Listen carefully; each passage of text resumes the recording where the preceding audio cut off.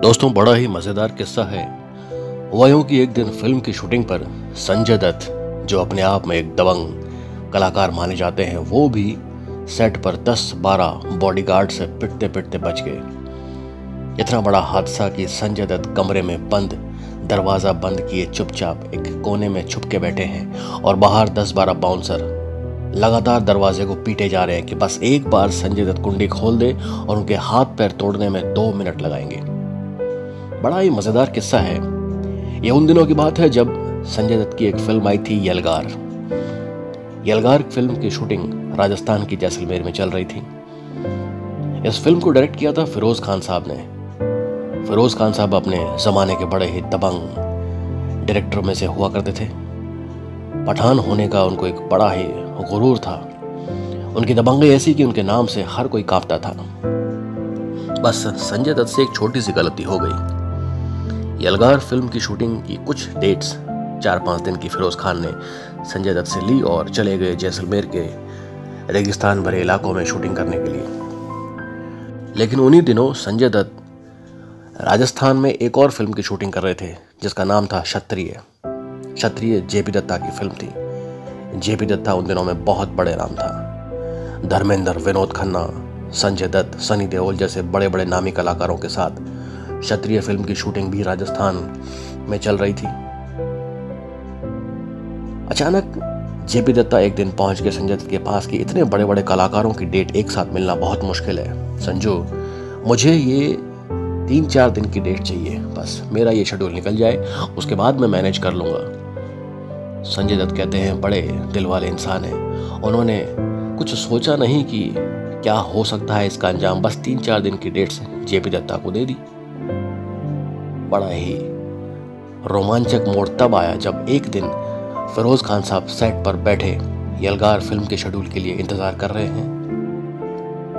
काफ़ी देर इंतज़ार करने के बाद उन्हें यूनिट से पता चलता है कि संजय दत्त तो फ़िल्म के सेट पर है ही नहीं, वो तो रात को ही होटल से निकल चुके हैं। कैसा क्यों? वो इसलिए क्योंकि पास ही में क्षत्रिय फ़िल्म का सेट लगा है और वहाँ संजय दत्त शूटिंग करने चले गए। जेपी दत्ता की फ़िल्म के लिए बस इतना सुनते ही फिरोज खान साहब का दिमाग सातवें आसमान पर। फिरोज खान ने आओ देखा न ताओ अपने दस बारह बाउंसरों को बुलाया और हेलीकॉप्टर बुक करके तुरंत आदेश दिया कि जाओ इसी वक्त और क्षत्रिय फ़िल्म के सेट से संजय दत्त को घसीटते हुए लेके आओ। अगर वो मना करे तो उसके हाथ पैर तोड़ के उसे मुंबई वापस भेज दो। बेचारे बाउंसर क्या करते? उन्हें तो फिरोज खान का ऑर्डर मानना ही था। हेलीकॉप्टर तैयार था। दस बारह लठैत, साढ़े छः छः फीट के गबरू जवान। हेलीकॉप्टर में सवार होकर पहुँच गए क्षत्रिय के सेट पर। जैसे ही संजय दत्त को पता चला कि ऐसा कुछ हुआ है, बस वो भागकर सीधे होटल के कमरे में गए और अंदर से कुंडी लगाकर बैठ गए। उन्हें पता था कि उनसे बहुत भारी गलती हो गई है और आज वो बचने वाले नहीं हैं। दस बारह आदमी लगातार होटल का गेट पीटे जा रहे हैं कि संजू एक बार बाहर निकल। बस हेलीकॉप्टर में बैठ और चल के शूटिंग कर फिरोज खान की, वरना तू आज ज़िंदा नहीं बचेगा। बेचारे संजय दत्त करते क्या करते? मासूम से कलाकार कमरे में छुप गए। बाहर निकला तो मुसीबत, नहीं निकला तो मुसीबत। इतना बड़ा हंगामा खड़ा हुआ उन लोगों की वजह से कि पास ही के कमरे में धर्मेंद्र धर्मपाजी गरम धर्म इंतज़ार कर रहे थे अपने शॉट का। काफ़ी देर तक शोर शराबा होने के बाद जब वो गेट खोलकर बाहर आए, उनसे रहा नहीं गया तो उन्होंने पूछ लिया, अरे अरे बच्चों, ये क्या हो रहा है? इतना शोर क्यों मचा रखा है? जब उन्हें पता चला कि वाक्य कुछ इस तरह का है, बस। आग बबुला होने में धर्मबाजी को कितना समय लगता है? मुद्दा यह नहीं कि दस बारह लोग संजय को कमरे से बाहर निकाल कर मारना चाहते हैं। उन्हें ये बात बुरी लगी कि सुनील दत्त साहब कितने रेपुटेटेड इंसान हैं, कितने सच्चे इंसान हैं और इंडस्ट्री में कितना अलग उनका नाम है तबतबा है। और धर्मबाजी और सुनील दत्त की दोस्ती भी बड़े मिसाल दी जाने वाली है। वो उनकी बहुत इज़्ज़त करते थे जब उन्हें पता चला कि सुनील दत्त साहब का बच्चा अंदर है और ये दस बारह लोग उन्हें मारने के लिए उतावले हो जा रहे हैं। बस ये बात सुनकर धर्मपाजी का आपाक हो गया। आपको जानकर हैरानी होगी कि वो सिर्फ़ बनियान और लुंगी में ही उन दस बारह लोगों की तरफ़ लपक लिए और एक हाथ इसके मारा, एक हाथ उसके। मजाल है बाउंसरों की कि वो धर्मपाजी को देखकर उन पर हमला कर सके या उनका विरोध भी कर सके। बस जिसके थप्पड़ पड़ता गया, बस वो अपना गाल पकड़ कर एक कोने में तुबक गया। अरे धर्मपाजी आप आप ऐसा क्यों कर रहे हैं? हमारी बात तो सुनिए। अरे खोते दे पुत्रो, तुम्हारी बात तब सुनूँगा ना, तुम्हारी बात में कोई वज़न होगा। साले, अंदर सुनील दत्त साहब का बेटा है और तुम इस तरह से बेजती करने पे तुले हुए हो?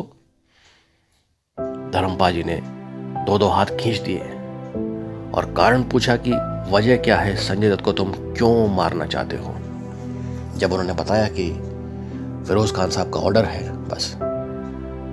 धर्मेंद्र से रहा नहीं गया। सीधे होटल के कमरे में गए, फ़ोन उठाया और फिरोज खान साहब को जो गालियाँ देना उन्होंने शुरू किया है फ़ोन पर। करे यार, तू जो भी है डायरेक्टर है, तेरा नुकसान हो गया। तेरे को फ़िल्म की इसने डेट दी और ये सेट पर नहीं पहुँचा। वो सब बात की बात है। कम से कम इतना तो समझ के यार ये सुनील दत्त साहब का बच्चा है।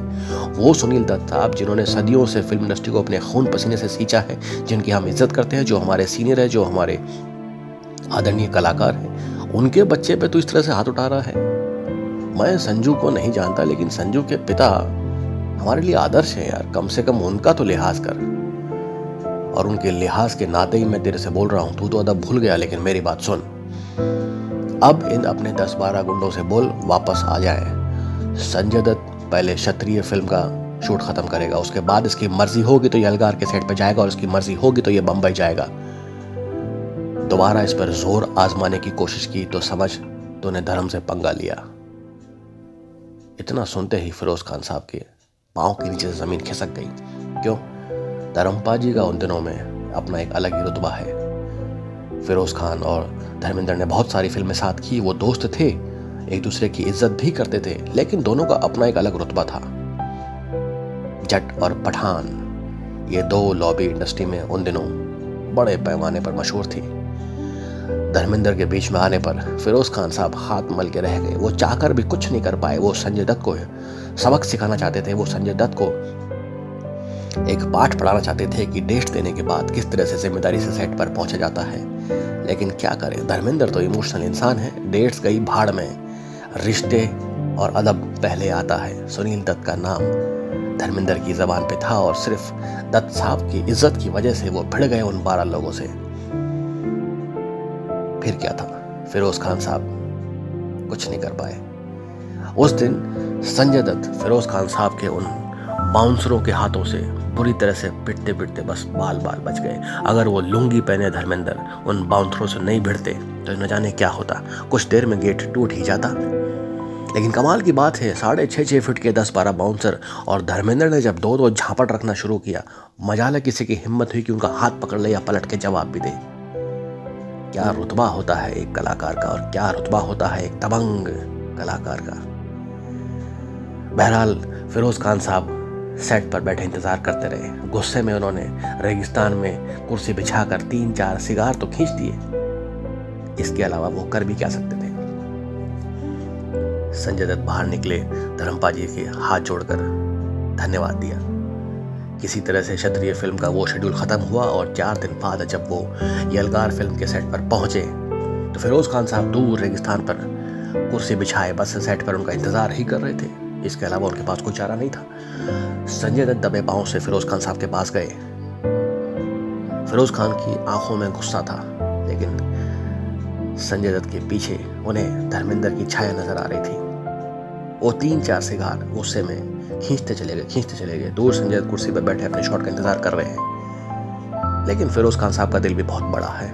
वो उठे, पास आए, संजय को खड़ा किया और गले लगाया। ओ पुत्र, चल छोड़। आजा शूटिंग करते हैं। सुनील दत्त साहब का रुतबा ऐसा कि फिरोज खान को भी भूलना पड़ा वो हादसा। चार दिन लंबा इंतज़ार करने के बाद आखिर संजू बाबा सेट पर पहुँचे। फिरोज खान साहब ने उन्हें गले लगाया और फिर से यलगार फ़िल्म की शूटिंग शुरू की। ये बड़े लोगों के दिल की बात ही कुछ और होती है। लेकिन वो दिन भी, बस, संजय दत्त को आज भी याद होगा। दोस्तों, ये किस्सा मेरे जहन में था। कभी कभी फ़िल्म के सेट पर बड़े ही मज़ेदार किस्से हो जाया करते हैं। और इस तरह से कई बार दिलों पर छाप छोड़ जाते हैं। कितने ही इंसान ऐसे आए जिनका दिल बहुत बड़ा था। नेक नियत लोग, नेक दिल इंसान। और उनके किस्से हमेशा याद रहेंगे। इतिहास के पन्नों में। जब तक फ़िल्मों का इतिहास रहेगा, फ़िल्मों के सेट पर ऐसे किस्से हमेशा याद किए जाएँगे। ये किस्सा मेरे जहन में था, मैंने आपके साथ शेयर किया। उम्मीद आपको पसंद आएगा। आए तो वीडियो को लाइक ज़रूर करना, चैनल को सब्सक्राइब करना, ताकि ऐसे नए नए किस्से लेकर मैं आपके सामने फिर से मुखातिब होता रहूँ। तब तक के लिए